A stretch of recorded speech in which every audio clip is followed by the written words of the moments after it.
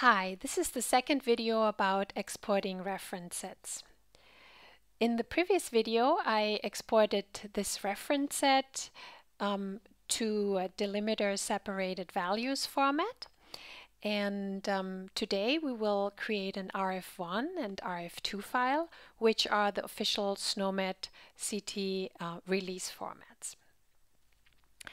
When you're exporting um, in RF2, you can um, choose a publication format that contains the history of the reference set. this is called um, the full export. Uh, the history of a reference set reflects what happened to the different components during the previous publications. And we can see the history of a reference set or also of a concept down here in the history view. So whenever you have a component active up here in the editor, um, the history is displayed down here in this view. And um, let's just maximize this view to get a better look. You can see here the date when something was changed, the number of changes, who changed it, and uh, some information about uh, the kind of change. Whenever you click a component, you can see down here what exactly happened. So this is a, um, a reference set that I created for demonstration purposes. And um, let's show what happened. Uh, let's see what happened to this reference set.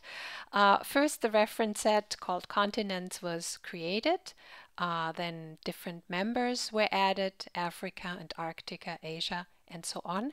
And then this um, reference set was published. So I created a version on the 24th of July.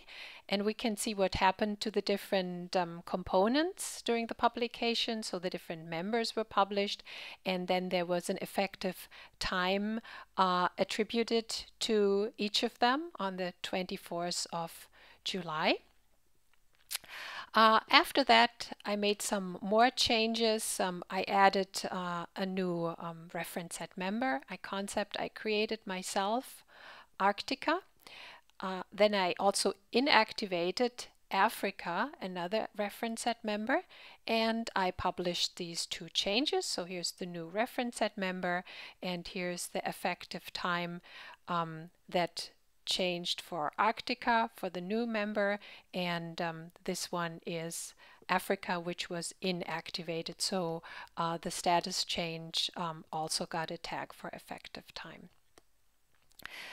So this is the second version so it had um, one um, member inactivated and one new member and then I uh, changed the status from of Africa from inactive to active again and also published these changes on the 28th. So you see there's only the effective time for this status change um, that was recorded here. So that's the history of um, this reference set. And if we recall the export we did in the previous video, um, what was exported was only um, the um, most recent version of the reference set. So we would only export this, what we see here, and we could select um, different attributes that we wanted to export, but it's not possible to export the history of a reference set. Now let's start um, the export. First we need um, to specify a name. I'm going to call it Continents RF2 and export it to the desktop.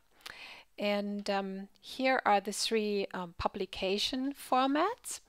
Um, there is the full export which contains every version of every component ever released.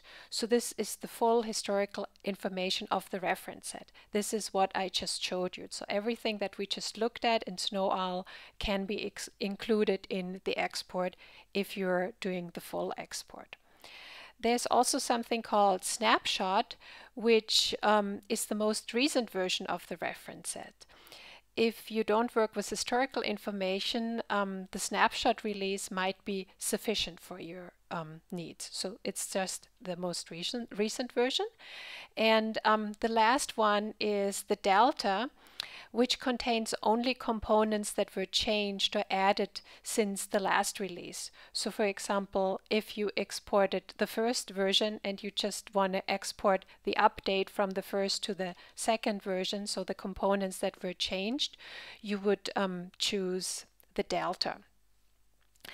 Um, for delta, it's also possible to specify a time range um, down here um, which means um, you can um, only include components that were changed during a certain period of time. For example, if you wanted to export only components that were changed within the last six months, you would select um, the beginning date here and the end date here. And so you can um, limit your delta export even further. But what we want to do today is the full export with all the historical information that I showed you. Uh, if you need an RF1 format file, you uh, will check uh, this box here. Um, it's not possible to export only in RF1. You're always generating an RF2 file as well, and you will see this in the export. They're just two separate folders let's do this. So I'll check this box. And um, now on the next um, page, we uh, need to select the modules for export. Um, for me, this would be the SNOMED CT B2I extension. Um, modules can be um, dependent upon other modules and it's possible to um, show the dependencies here. So you don't need to figure them out yourself. You just click this button and then you see that my extension is dependent on the SNOMED CT core and on the model component. And uh, just by clicking this button it automatically adds the required module. So it's quite convenient. And um, let's start the export and um, review the file. You can see this is a zip file and um, let's open it. We have an RF1 uh, export which is um, this one here. It contains these two text files and this is the RF2 export and uh, you see this looks um, very different from the text file that we exported in the first video. So it's a much more complicated, um, standardized um, structure um, that um, these files require. Um, we cannot look at the whole thing. It's This is actually machine readable, which is used to exchange um, information, um, not really something that you would normally read, but we can still um, take a look at it. And let me just make this a bit bigger. Um, so see, it's a tab separated file. Um, this is why this um, header goes with this column here. So in the last column, we have um, the SNOMED um, CT concepts. This is Arctica, this is the one that I created myself, so we can instantly identify it because this um, has a much longer concept ID. Um, this is the reference set ID. Here's the module ID. Um, this is interesting because this is the status, and here is um, the effective time. This is just a unique identifier. But with the, these two columns, we can actually um, see a bit of the history of this reference set. So if you recall, we had three publications, and you see we have three different effective times, the 24th, the 26th, and then the 28th. These are the first seven reference set members.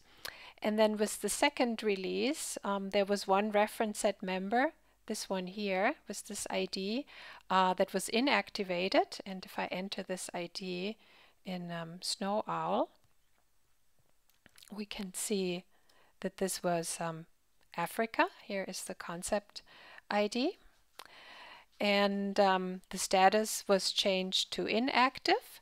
And there was a new reference set member. This was Arctica. That was the one that I added. And then in the last release on the 28th, there was a reference set member that was activated again. And we can see here that the concept ID is the same. So this is again Africa, but um, there's no um, preferred term, so you, you can not really read it only if you um, look up the, the IDs. Okay, um, that's all I wanted to show you about exporting. Uh, I hope you enjoyed both videos and thank you very much for your attention. Bye bye.